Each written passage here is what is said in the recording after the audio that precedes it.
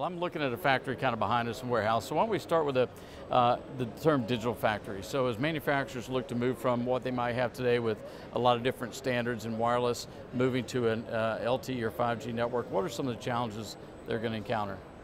So, so um, when we look at the factories, uh, today if you want to run operations on, on uh, you say your operational IT in a factory today Yeah. is actually rather complex, right?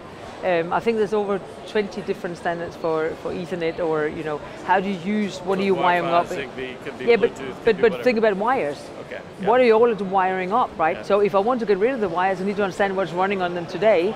Um, and, and am I 100% sure that I get the same reliability, the same low latency that I have from today? So of course, uh, from the low latency perspective, I can do with LTE today, deploying edge clouds, I can do a lot. But we also see that from a standards perspective, this is some of the, a lot of the things been thought into the release 16 of, of the 3GPP. So there is an evolution going, saying yes, start with, with the, what you can do today with, with LTE, and then there's an evolution to 5G in the releases that is then supporting these ultra low late, uh, latency and reliability parts that we have coming in release 16. Okay, so when will massive MIMO, or massive IoT come? Will that be part of release 17? And So, why so we, 17 we do have the first part, 16, right? yeah? Because we have a pretty solid foundation in our LTE standards today with narrowband IoT.